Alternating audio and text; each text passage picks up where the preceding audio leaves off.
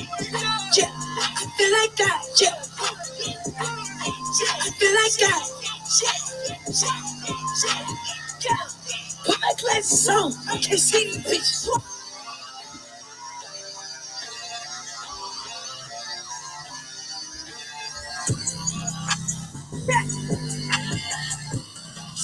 Oh what?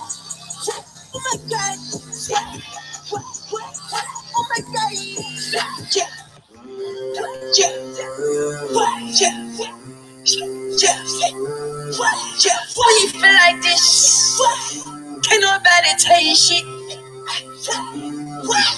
When you feel?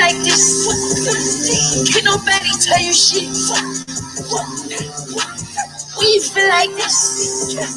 Can't nobody tell you shit. When you feel like nobody tell you shit. Can't nobody tell you shit. Can't nobody tell me shit. Yeah, yeah, yeah. I feel like God, yeah, yeah. I feel like God, yeah. I feel like God, yeah, yeah. Put my glasses on, I can't see. Thank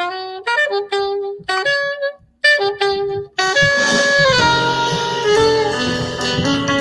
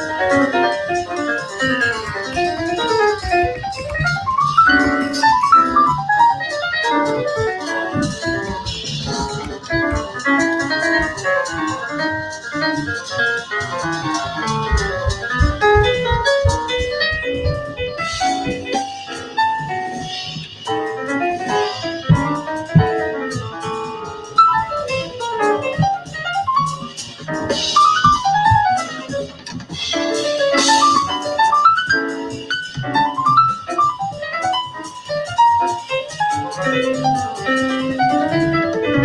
you.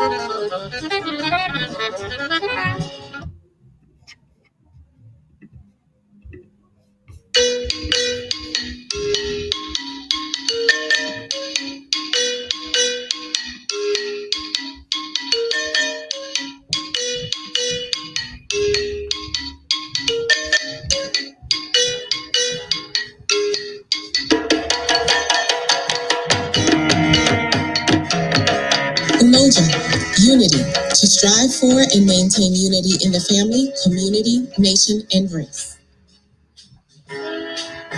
For today's principle, Umoja, unity, I'll be reading from Malcolm X, the final speeches, February 1965.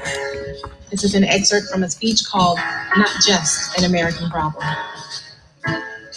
When you teach a man to hate his lips, the lips that God gave him, the shape of the nose that God gave him, the texture of the hair that God gave him, the color of the skin that God gave him, you've committed the worst crime that a race of people can commit.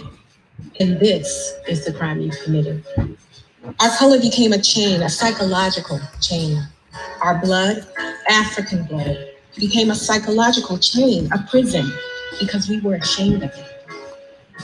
And even those that'll tell you to your face and say they weren't, they were. We felt trapped because our skin was black. We felt trapped because we had African blood in our veins. This is how you imprisoned us. Not just bringing us over here and making us slaves, no. But the image that you created of our motherland and the image that you created of our people on that continent was a trap, was a prison, was a chain, was the worst form of slavery that ever had been invented by a so called civilized race and a civilized nation since the beginning of the world. And you will see the results of it among our people in this country today because we hated our African blood. We felt inadequate, we felt inferior, and we felt helpless. And in our state of helplessness, we wouldn't walk for ourselves. We turned to you for help. And then you wouldn't help us. We didn't feel adequate. We turned to you for advice, and you gave us the wrong advice. Turned to you for direction, and you kept us going in circles. But a change has come about in us. And what from? Back Asia, know they had a conference of dark skinned people. The people of Africa and Asia came together for the first time in centuries. They had no nuclear weapons, they had no air fleets, no navy, but they discussed their plight and they found that there was one thing that all of us had in common oppression, exploitation, suffering. And we had a common oppressor.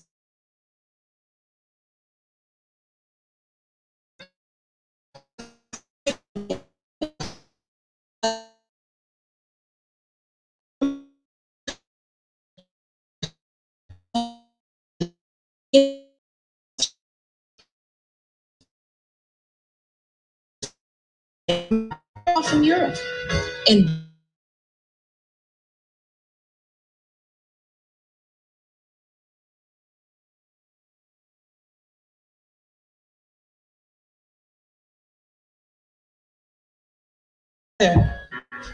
and determined at the Bandung conference that it was time for us to forget our differences. We had differences. Some were Buddhists, some were Hindus, some were Christians, some were Muslims, some didn't have any religion at all. Some were socialists, some were capitalists, some were communists, and some didn't have any economy at all.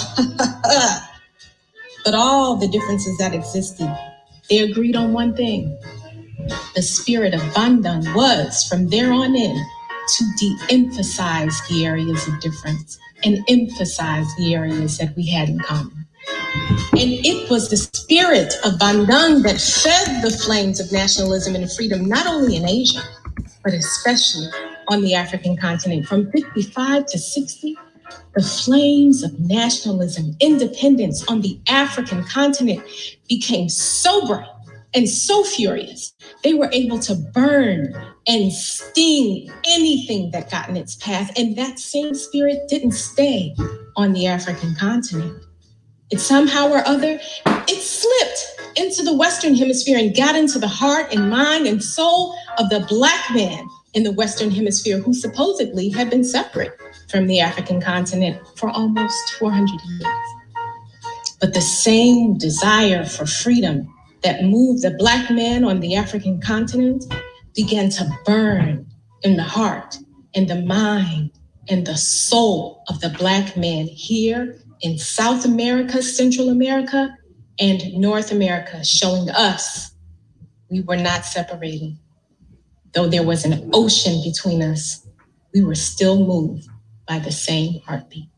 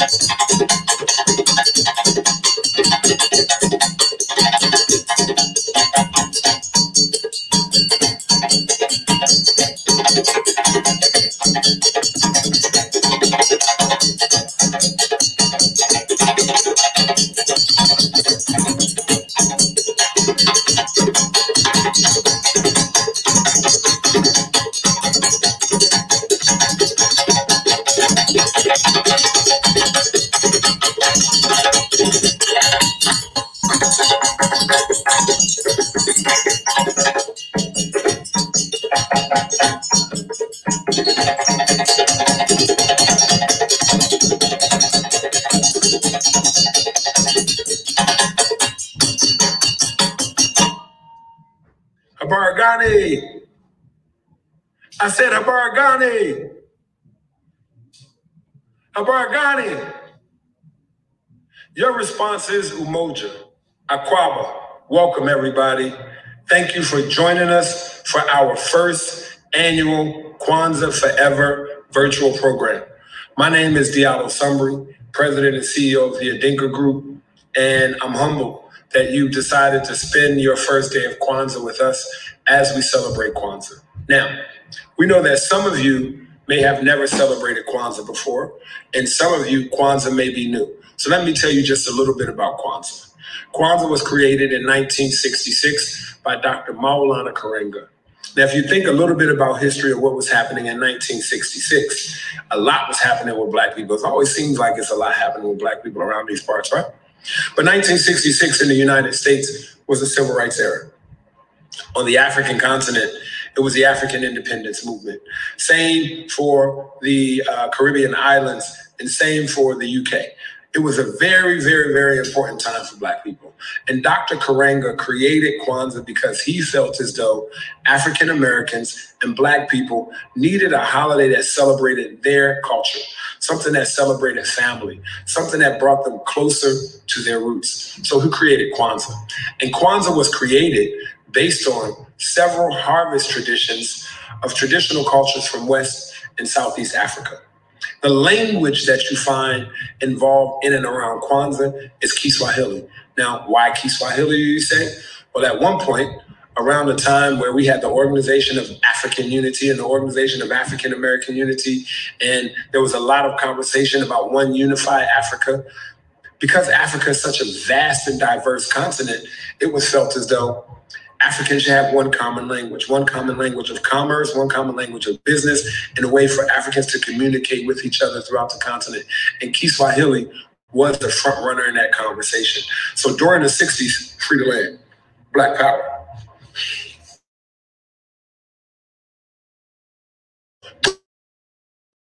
That time,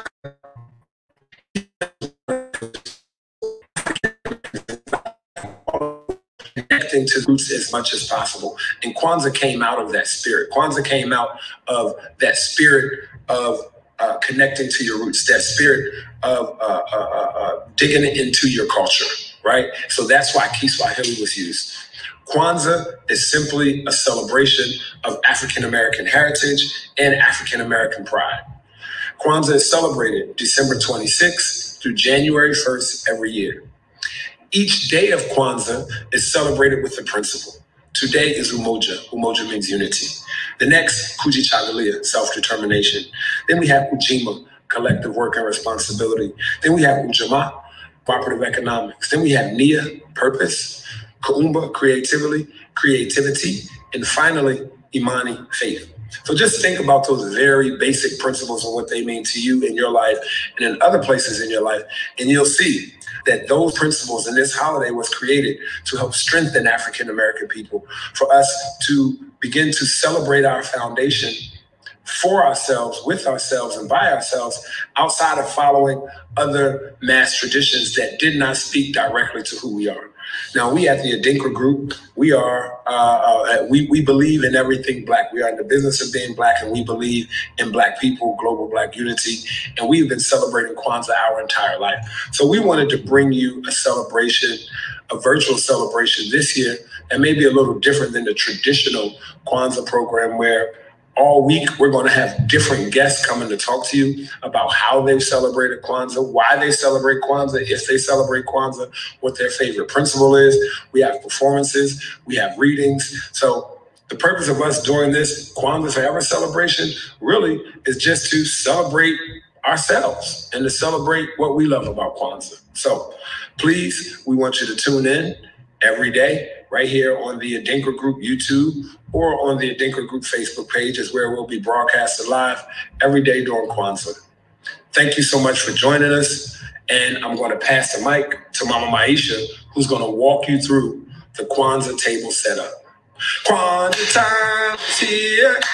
Uh, it's a happy time of year where Africans celebrate Everything that we've done great. news. The Saba. Loving mamas and our babas. Taking the stance. I forgot the rest of the words. but I still love Kwanzaa time. Kwanzaa, Kwanzaa, Kwanzaa. Over to you, Mama Aisha. Greetings, everyone, and Bargani. Welcome to Kwanzaa Forever. We're going to be discussing this lovely Kwanzaa setup that we have here. This is a traditional Kwanzaa setup, um, and you'll find that all Kwanzaa tables pretty much have the same elements. So we'll start with the first one, which is the mkeka. It's a straw mat upon which the kinara, which is the candle holder, sits. And inside the kinara, we have the mishumaa saba, which are the seven candles representing the seven principles of Kwanzaa. And so the way that we light these candles is we start with umoja, which is the black candle in the middle on the first day of Kwanzaa. And then we go through all of the days, alternating between red and green, um, starting with the outermost candle and then moving in until we get to Imani, which is the last candle, which would be the green candle on the right. We also have our mazao, You'll notice we have a large basket of fruit. The mazao are the crops and they represent the wealth of our community. We also, you'll see next to the mazao, have a kikombe cha umoja, which is the unity cup. Typically, the unity cup can be used to pour libation or share drink among family and community as part of a Kwanzaa celebration. Also, in on a typical Kwanzaa table in a house with children, we would have the ears of corn, and the ears of corn would correspond to the number of children in the family. Because this is a general Kwanzaa setup, we have a table here. It's sort of a public um, space. We don't have any children who are in this particular household, but if we were in a home, we would have um, a corresponding number of ears of corn that would match the children in the household. And finally, we have the zawadi. The zawadi are the gifts. And typically, gifts during Kwanzaa are homemade or handmade. As you can see, this little giraffe follows suit with that, or books and educational materials um, that will be given to our children and members of the family. So, happy Kwanzaa, and we invite you to enjoy our program. We want to thank you all for joining us for our first annual Kwanzaa Forever uh, virtual celebration. I mean, we all know we're in a virtual world now, so things are a little bit different. But the beautiful thing about this is it gives us an opportunity. Um, it gives us an opportunity to reach more people around the world in sharing the things that we love and sharing the things that we believe in. So, again, thank you so much for joining us for our first day of Kwanzaa, Umoja. Um, so, Umoja, means unity, to strive for and maintain unity in the family, community, nation, and race. Our guest today will discuss Kwanzaa's relevance and place in today's world. We'll talk about how they employ the principles in their daily life, and we'll talk about what Black unity looks like to them. Okay, um, our first guest um, who is going to uh, probably kill me because she just told me how to pronounce the last name. But you know, African tongue, depending upon which part of Africa you go to, it's always a little bit different. Um, Risikat uh, Odekei. Okay, I, I, I, don't don't worry, y'all. Don't worry, y'all. I mean, you can clip just a piece of my black card, but not the whole thing because she's going to correct me. Risikat is a very good friend, long time from the colleague. I met Risikat. I was 15. I was ashy. I still had crust in the corner of my mouth um, as a drummer, and she was a dancer at University of Maryland. And I was there with my mama drumming for a dance class. And over the years, Risikat and I have become colleagues, really good friends, and we support each other. So I really want to um, thank her for being here with us. She's the architect and owner of Little So So Productions. Her mission is to create meaningful Black content and experiences by producing high quality content, high quality cultural events, digital media, and conversations on and around progressive Black culture and aesthetics. Now, that sounds really good, but I promise you that Risikat um, is a lot deeper and does a lot more than anything that I can read on her bio. Um, our, our, our next guest is uh, a young man who I've, I've been watching grow um, and come into his own for a while. Really happy to have him on. Um, um, his name is Kwaku Sumbry. Uh, Kwaku is an incredible artist. He's an incredible percussionist and artist. He's a new father, a recent graduate of the new school, both his undergraduate and grad school, and he's been celebrating Kwanzaa um, for his entire life. So it will be, you know, I'm really thrilled to hear his perspective on Kwanzaa as a, I believe, a young generation Zer or whichever alphabet that is um, for his generation. So without further ado, please welcome my guest to today's show, uh, Kwaku Ritzy. Hello, how y'all doing? Good. Peace, peace, peace. Okay, Thanks for having me. So Ritzy, what, what, go ahead. What did I do wrong? Can you please? Ritzy Cat Okedei. Okidei, Okidei, Okedei, yes. Okidei, Okidei, Okidei, Okidei, Okidei, Okidei. And Okay. Okay. And I just want to clarify that I'm a cultural architect, not an architect. Okay, cultural architect. So no disrespect to the art, the architects who build Right. homes and design Right. homes. She's a cultural architect. Quite cool. How you doing? I'm doing good. I'm doing good. Uh, our next guest is Adrian Bates, affectionately known as TT of TT Talks LLC.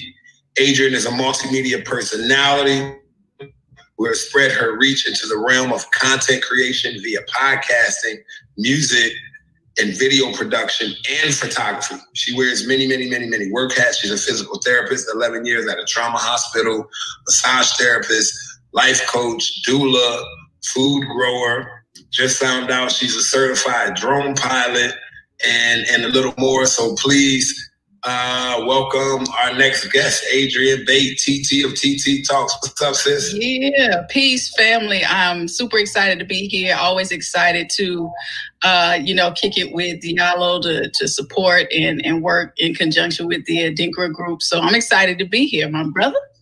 my last guest, who uh, I'm sure is going to have some valuable insight for you and something a little different as we're talking about Umoja and Kwanzaa.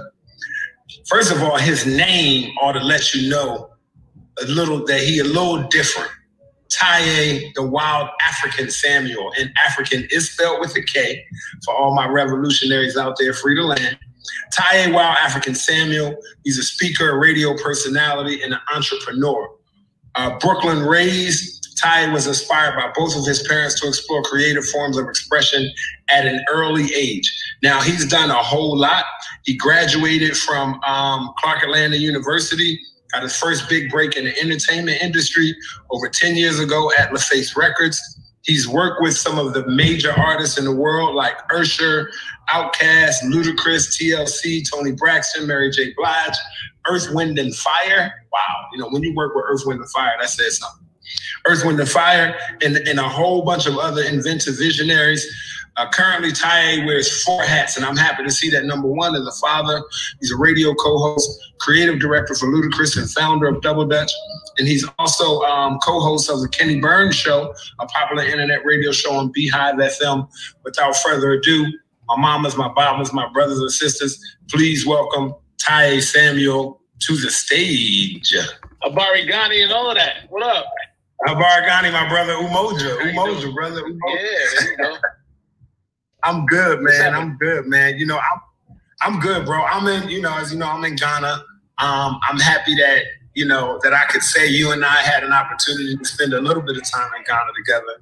And I'm definitely looking forward to us spending spending more time in Ghana together. Yeah. So just where, where where are you at in the world right now? I'm actually in my in my you know my boxing gym. So you know I got to update my bio a little. bit. I'm in my boxing gym right now. Um, we're uh, open in Atlanta, in Georgia. Um, and I have this little cubbyhole room that I go to to, to do stuff when it gets a little loud in, the- in, the, in the, main area. So that's where I'm at right now.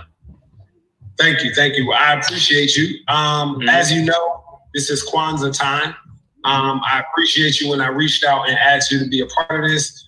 You said yes, no problem. So Mhm. um, continue our conversation with Umojas. Let's let's let's jump into it. Um, Kwaku, I'm gonna start with you as the young. First of all, um, tell me if you celebrate Kwanzaa, how long you celebrated Kwanzaa, and how has Kwanzaa changed for you?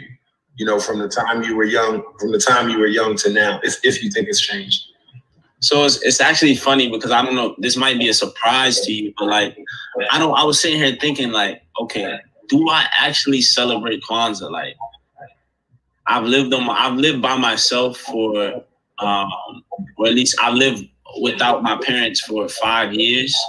Um, and during those five years, I didn't have a Kinara set up in my, you know, apartment or whatever. So that doesn't mean that I don't celebrate Kwanzaa, but I was just asking myself these questions. Um, so I guess I can go from the beginning. As as a as a as a child, um, Kwanzaa was a time where I where I that I spent with my family. I spent with my grandmother, um, my mother, my father, my sister, my cousins, my aunts, my uncles, my great uncles, um, my great aunts, and we will all be at somebody's house. Most of the time, it was our house, my, my, my parents' house, and or we would be at my grandmother's house. And it was a time to really reflect on, you know, the times, like what was going on, not only in people's personal life, but what was going on in the in the world, in America specifically. Um, trying to figure out how, you know, well, at least my family, how we could pull pull our, our, our black dollar together and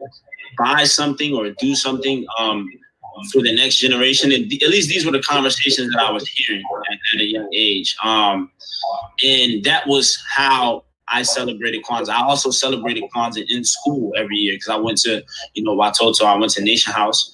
Um, it's an African centered school. And we had, we would do uh, uh, uh, like two weeks full of Kwanzaa celebrations, singing Kwanzaa songs, you know, doing all of those things. And then by the time I got to college, Kwanzaa to me was just it was it was time to work.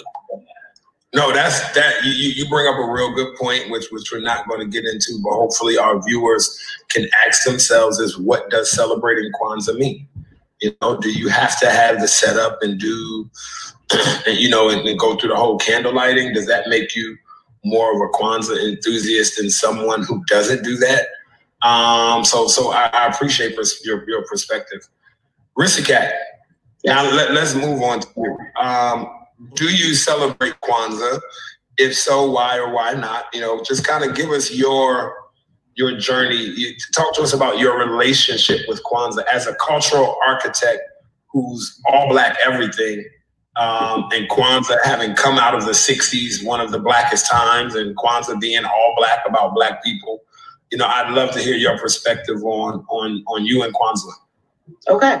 Um, so for me, Kwanzaa, uh, I've grown to respect it. It wasn't always my, I wasn't, first of all, I'm Nigerian American, so I didn't know anything about Kwanzaa until college. Actually, I'd never heard of it until I went to college. And it was really, um, Afro-Am studies major from University of Maryland College Park. And so the blacks the black arts movement is one of it's like that and the harlem renaissance some of my favorite points of uh, cultural context just because of the of just the amount of energy behind uh, the 1960 late 60s um, 70s period.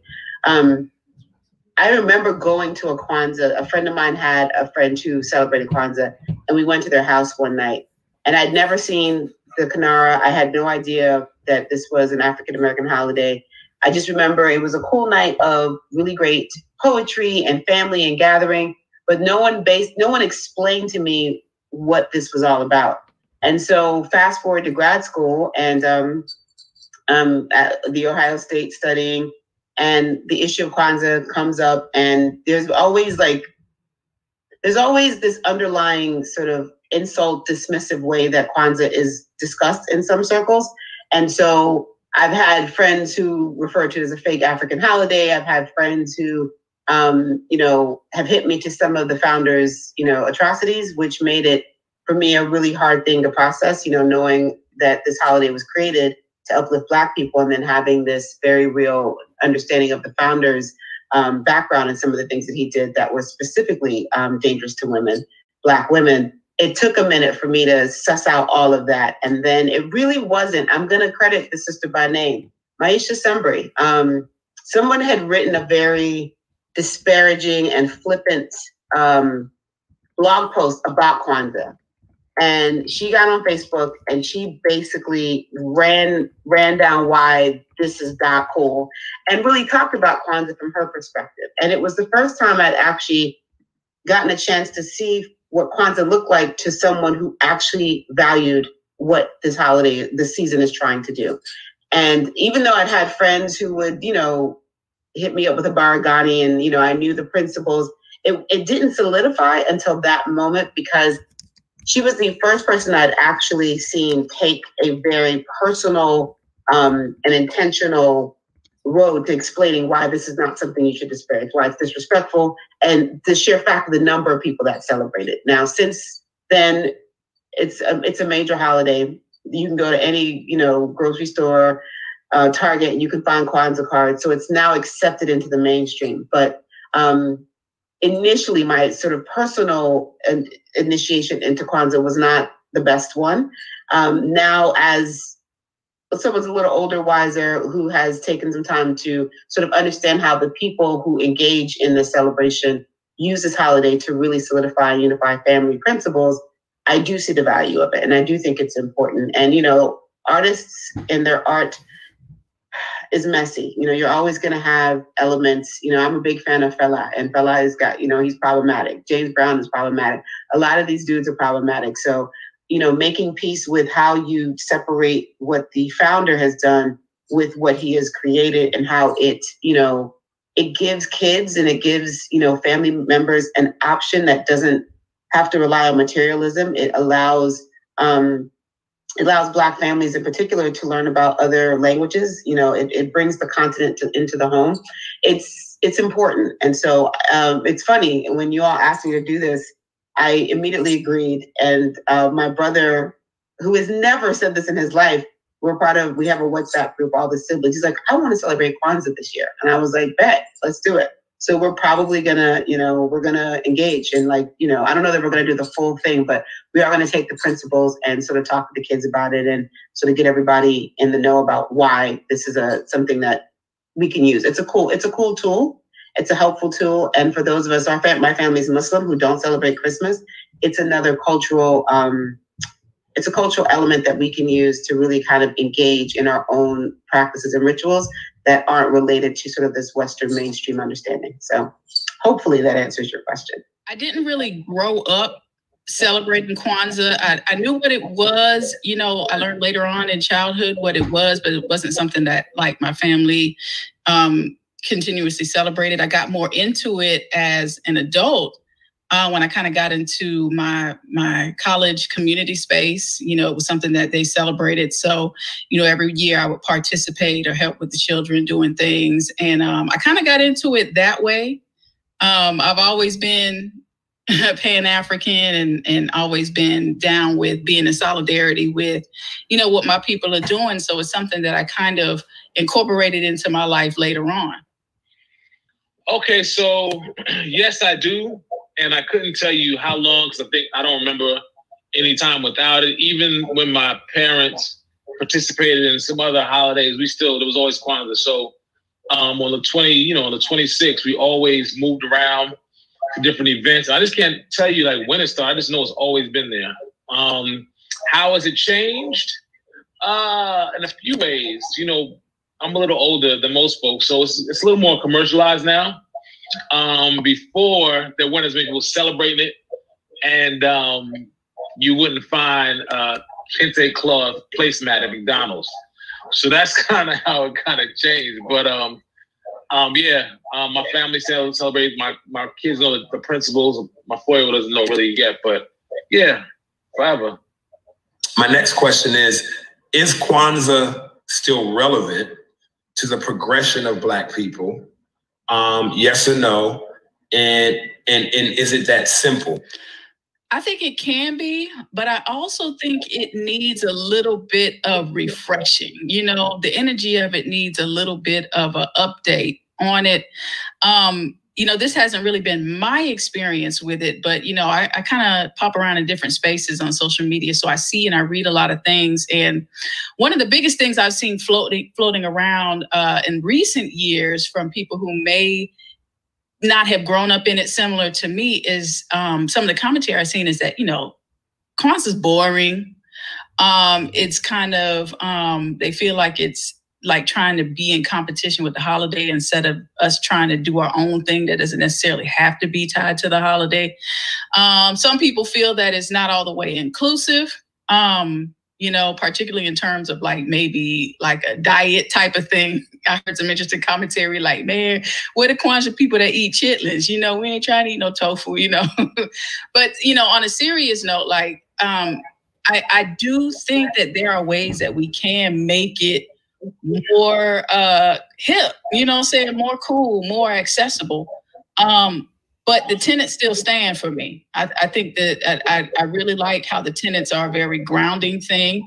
And I think that we can still um, take those ancient, you know, um, tenants and and and and create it so that it's something that can really capture you know what's happening you know we could easily make kwanzaa something that's hot on tiktok you know if we had some creativity and kind of linked up with some of the younger kids you know and and garner a whole new wave of of young people who kind of have an interest in it um and there's also some controversy about how it was started, who it was started by, that kind of gives some people pause that I feel like needs some. I feel like, you know, uh, it would be great just to have a good discussion kind of clearing things up or or being more specific about what happened who was this you know so that people can be clear um because you know everybody you know this is the time where you know if, people ain't with the foolishness. You know what i mean? They want they, they want to make sure that what they're engaging with is something that isn't tied to something that is negative you know? So um I think it's still relevant, but I think that it won't be relevant very long if it continues on the trajectory that it's going in. So I'm of the belief that since we are not a monolith, it's relevant to the people for whom it serves. And so I don't honestly don't think it matters. If there are black families and black organizations and groups of people who can use this um, this this particular tool, like know, that's what of call it, to unify their communities, to engage in dialogue, to kind of figure out better ways to collaborate and to kind of uplift everyone, then it's it's dope. It works. Um, the reality, um, the reality is, is that whenever Black people gravitate towards something, and the capitalistic um, natures that be get a wind of then what's going to happen is it will become part of the mainstream in some way, shape, or form. Yes, there is definitely a problem with kente cloth and kinaras being made in China. That is an issue. And for those of us that are purists, it's offensive on several levels. But for that kid who may never, ever be exposed to the continent in any other way, it could be life changing. And so I I don't I don't worry too much about those kinds of trends as much as I used to. I used to be like real, you know, real nitpicky and real um, dismissive. You know, when your your kente cloth stole it says made in Vietnam, I'm looking at you like, what's that all about?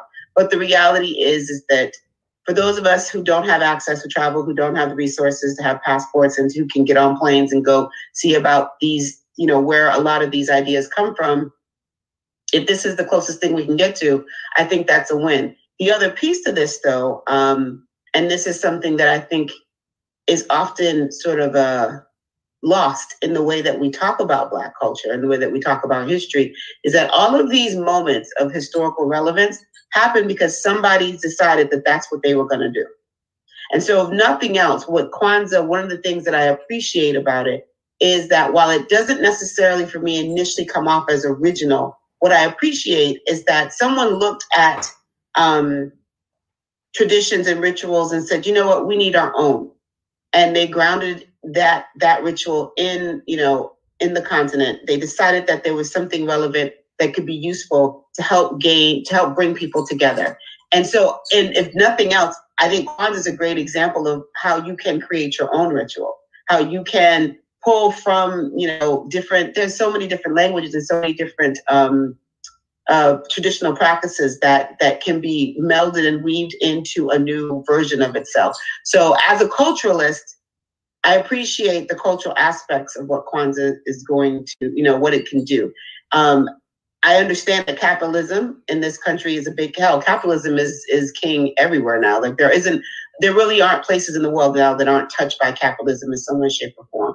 But it's an opportunity, you know. And what I hope is when people are learning about Kwanzaa, that they understand that this is something that was created by someone who's still alive. So this is not some old timey thing. This is not three, four generations, and this is something that was created in a moment and a time where your grandmothers, your uncles, your aunties, you know, were part of. So if Kwanzaa doesn't fit with you or sit with you, the beauty is that what Karenga has shown us is that you can create something that does work.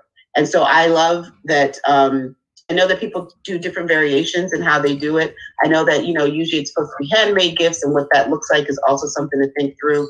Um, there's a lot of ways that you can really engage uh, people. And I think children need as much engagement as possible around things that look and feel like them. So what I do appreciate about it is that when it is done and when it's when it's practiced in homes, it does even if as a teenager you walk away from it, it does ground uh, this season, which can be super super materialistic, in something more than just you know what you got for Christmas. I think that with all the conversations that are happening I think there's some conversations that are happening that are trying to get us away from our unity, if you will. You know what I mean? I think that some of the principles can still be applied, even if they're not for some people as stringent as they think as we think they are. They're, they're really overall principles that we should use every day. So my short answer is yes. And I think the fact that a lot of us may be quietly moving away from it is part of the challenge of why we're not getting certain things done. So it's absolutely important. It absolutely can be celebrated, it can be passed on. I just don't think we have to be as rigid. I think we need to actually bring it to a space where our children still want to celebrate it. Our children still want to carry it on. They get excited about it. Um, you know, whether it's doing a Kwanzaa party, um, whether it's having children come together and express their ideas on different days, whether it's just bringing family members together and the same thing they get on other holidays they get on that day, I think it's, it's valuable and it's important. And then to remind people throughout the year about the principles, things like cooperative economics, absolutely. Like we let's talk about that. Let's talk about unity. Let's talk about getting on the same page or something. Let's talk about collaboration. Those things are, are crucially important, I think, in these days, these days and time. I, I think to answer your question, Kwanzaa is always going to be relevant because it's about black people simply. It's about celebrating black people. It's about it's about celebrating black history. It's about celebrating positive morals and and and, and uplift really uplifting the community. Like if you if you think about it that's pretty much what kwanzaa is about what the, the the, people that are around you that look like you how can we uplift each other last question for both of you is um with regarding, I mean, today is Umoja. We're talking about Umoja unity, but it just felt like on the first day to just kind of really have a general conversation about Kwanzaa. And I, I think that we all realize how important unity is, right? Unity as a concept, unity in our family, and even individual unity. As a spiritual person, there's something that I'm learning um, about individual unity. You know, the your human will versus your your spirit's will. And you know, we see what happens when individuals are not unified. A lot of times you see them walking down the street shouting and screaming, and this and somebody say, "Oh, this person is crazy," and a lot of times it's not. They just, you know, their selves are just kind of a little bit far further further apart from each other. But I'd like to know how you all um, incorporate the principles, these concepts, and you can just pick one or two. You know how do you incorporate it into your business your personal life? And you might not be like oh you know it might not be in your business core core core values or goals where you have Kuji Kujichagulia or Ujima but just i think the concepts of kwanzaa um, unity self-determination collective work and responsibility cooperative economics purpose creativity faith those concepts alone are so powerful and i'm wondering um, if both of you can just kind of share how you incorporate them, you know, in your personal, your business life. And if you have a favorite principle, you know, tell me why that's your favorite principle. And if you don't have a favorite principle, just pick one for the people. pick one for the people, and you know, this is this is this is the one that you would choose. And um, I mean, either one of you could. Uh, uh, as a matter of fact, cool. Let's let's let's let's start with you with that one. And again, you know, how do you incorporate those principles, or if you incorporate them to your business and your personal life, you know, 365, 24 7, and then what would your favorite principle be? Okay. Um, I know that I can recall on two principles that I implement into my life on a daily basis. Um, that's um, Nia, my purpose, like my why. Um, I, I, I look at that a lot, and then Kuumba, creativity, imagination. You know, those two like I try to incorporate on a daily basis. Um, with Kuumba, I feel like Kuumba is about being open, you know, like being open to what the universe has to offer you um, in terms of offer your imagination or what you have to offer yourself um, through your imagination. Um, and then Nia, your purpose is is why you're doing what you're doing. You know, when if you don't wake up without a why, it's kind of hard to wake up. You know, it's kind of hard to get out the bed and be like, okay, I'm gonna go do this. Not even if you going to do it to make money, but trying to, you know, identifying a why that's that's that's that's that you wrote down that you that came from you, and it, it doesn't have to do with anybody paying you or you working for anyone else. Um, and the other question you said was my favorite, right? Yes. Okay, yeah. My my favorite will probably be mm, it will be in between Nia and collective work and responsibility. Ujima.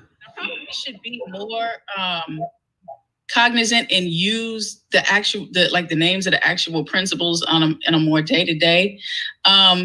But man, what is not to love about you know what I'm saying unity and you know self-determination and, and and collective work and responsibility and creativity and faith and you know all of the different ones those are things that i carry with me every single day those are things that i had with me before i even knew about kwanzaa those were those were actually values that were instilled in me even though it wasn't under the term Kwanzaa or Nguzo Saba, that's how I was raised. I was raised being in unity with Black people. You know, I was raised to be creative. I was raised to have faith. You know, I was raised to, you know, have, you know, cooperative economics and, and support black businesses and stuff like that. I was raised with that. Kwanzaa just gave it a framework. You know, even though I didn't come up with Kwanzaa, I came up with Kwanzaa. You know what I mean? I just didn't come to it from like the ritual standpoint, you know what I'm saying, of of of you know setting up the sacred space, you know what I'm saying, lighting candles and all that. But the actual principles itself was were, were were definitely something that kind of instilled with me. I think that's probably why I resonated so much with it as I learned more about it. Cause it was like, this is what I'd be doing anyway. Yeah, I'm with that.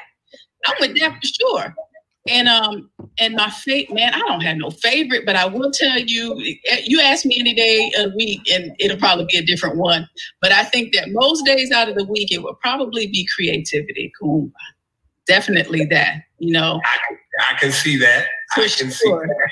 That definitely because for me, creativity ties all of this stuff together. You know what I mean? I, I want to support the black businesses who are doing creative things, you know, wearing creative stuff, creating awesome music. You know what I'm saying? I, I want to do that. I want to unify with creative people. I don't want to unify with people who aren't creative. Not at all. You know, I don't want to unify with people who don't have imagination, vision.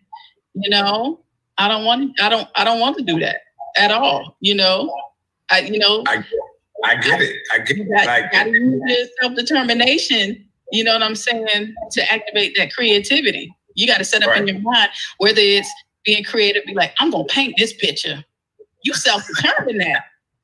You know what I'm Right, saying? So Right, I right. mean that's probably five five days out of seven will probably be. you know, that makes sense. so so we know that when Kwanzaa was created in the 60s, they used Kiswahili, right? Right. At that same time, the world was talking about a unified language for all African people, and Kiswahili Right. right? Right. At that time, Organization of African Unity, Organization of African American Unity. So we were really trying to unify Black people globally in this in this kind of way. Uh, you know, uh, what are your opinions about Kwanzaa uh, in relation to global Black unity, or is or is this idea of global Black unity like not really feasible? You know what I'm saying? Like, uh, is, is that something we, we should we should be striving for and using Kwanzaa to do that, or or is it a little bit different now? I, I think what we have to remember is that even in global black unity, there's going to be different pieces of it, right? So even in the 60s, everybody wasn't doing the same thing, right? You know, you may have the Black Panthers over here, you may have uh, a Nat Club Nationals over here, you may have like National Black Theater performing artists, but they still came together on this one page about, yo, these are things that we can do. So I think that the principles allow for a universality without having to say, yo, we're all going to do it just this one way. Like cooperative economics, to me, goes a lot of different spaces. Like if we, if you and me want to go and get ten houses, it's better if we get ten of our friends to do it. You know what I'm saying? Rather than me trying to do it by ourselves. So those principles don't have. Uh, those are to me, those the principles are something that all of us got to get on the same page about without having to say, well, listen, we all gonna do exactly the same thing. This there's a conversation happening right now that um, we're not a monolith, a monolith, right? But there's still some universal principles that still can help us push us forward and get us to where we need to go. And for me, it don't have to be that complicated.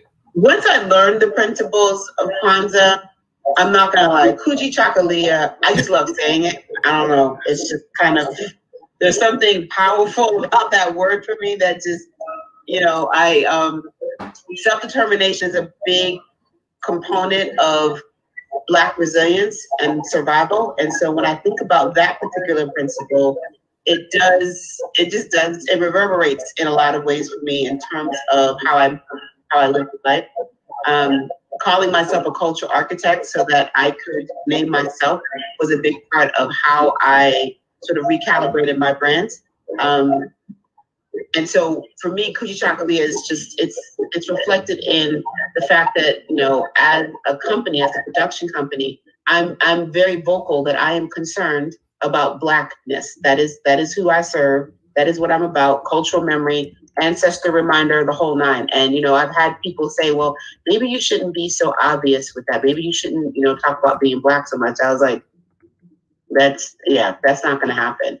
And so I, when I when I see the word Kujichagulia, when I say it, it's just confirmation that the way in which, like, to really be free and black in the world is to be able to walk a path that is your own, that is determined by you, and that does not worry about whether or not people are concerned or affected, um, you know, or have say in how you see yourself. So I, I always think of um, W.E.B. Du Bois and the veil and the double consciousness concept where he says that you know basically you're stuck as a black person between who you actually are and how you're seen in the world and you have to walk with those that two-ness all the time so kujichagulia for me is is the is a basically a way of saying no i'm going to walk my way and i'm not going to worry. What you see is your problem. Who i am is really what i'm concerned with. Um, nia has always been um, a, a principle that i've that i've gravitated towards just because I think purpose is something that we all that we all need. Um, I believe that we all come back with a specific message and instructions on what we're supposed to do. And so for me, Nia is just a reminder of that, that nobody is here without purpose. Nobody is here just willy nilly. Like you did not come back to just sit around and sit on your hands, that we all have something to offer the world. So it is a principle that I actually, um, that I that I look to, that I that I use in my daily life, um, that I think is an important aspect and something that we should all be celebrating, uh, regardless of whether it's Kwanzaa or not. But Kujichagulia is my favorite. Got you, Kujichagulia. I remember, you know, I remember. I remember thinking you was real smart when you was young because you could spell Kujichagulia. It'd be like, it'd be like, you know, something like, well, can you spell Kujichagulia? This is it. That's the question. if you can't spell Kujichagulia, then don't talk to me. You know It's not an easy word to Not. spell. it's not. Right? But guess what? Um, Kujichagulia shows up in my spell check. Does it show up in your spell check? I have never tried Listen, that. Wow, man. I have to look. Steve Jobs was on to something. I think Steve Jobs. I think it's because, well, well, I mean, I, I write a lot, type a lot, as we all do, but I add words to my dictionary. So mm-hmm. whenever, because you know, you type in a lot of African spelled words or whatever, and it's misspelled, you know, and they, Right. they want it to be something different. I always click add to the dictionary. So I think over time, but definitely on my phone, Kujichagulia, when I'm typing on my phone, Kujichagulia definitely comes up on spell check. And I like, you know, I'm one of those people like when I see Kujichagulia on spell check on the iPhone, I'm like, oh, we are winning. Freedom is around the corner. if, if Kujichagulia is on iPhone spell check, Right. my we are on our way to the promised land. well, I mean, I want to I want to thank both of you all for joining us. Um, and I just really appreciate your opinions. And I'll, I'll start with you, Rissy. If you could just kind of tell us, um, tell the people how they can find you. You know, where can they find you at online? Uh, thank you for that. Well, first, thank you. Um, you're absolutely welcome. Thank you for having me. This has been a lot of fun. You can find me on um, Instagram and Twitter at Cat Corner Co, K A T S K O R N E R C O. Um, you can also head up to my website, www.lilsoso.com, L I L S O S O.com. It is so easy to find me on these interwebs. You can easily find me at tttalks.com. I also have a pan your favorite Pan African podcast called TT Talks. It's on uh, pretty much most of the streaming platforms. You can find me on Instagram at TT Talks, T I T I T A L K S. You can find me on Facebook, TT Talks. You can find me on Twitter at MS TT Talks. And uh, yeah, hit me up on the interwebs. I'll be very excited to uh, link with folks. I love talking to people and meeting new people. And, uh, you know, check the content out. And I appreciate it. Thank you so much. Kwaku, how can we find you?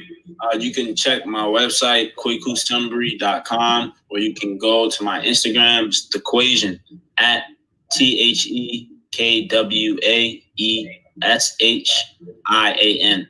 The equation. I can spell, okay?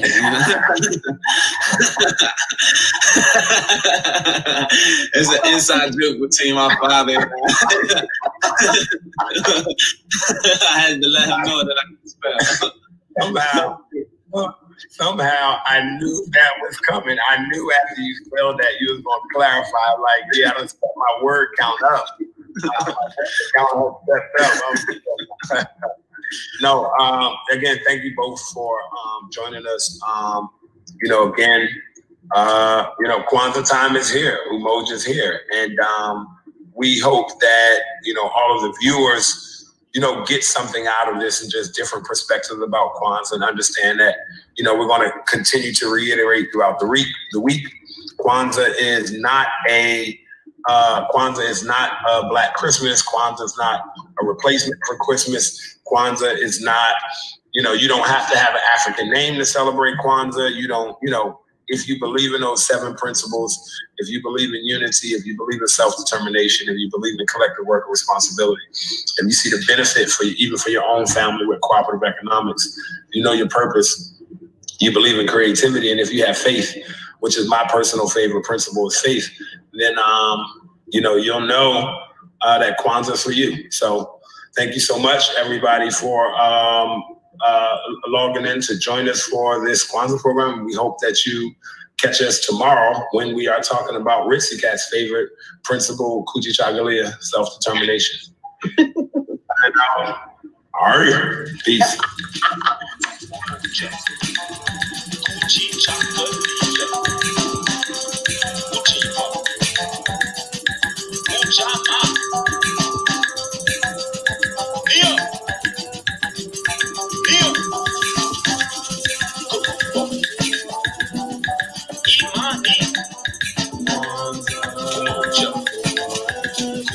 Chicha,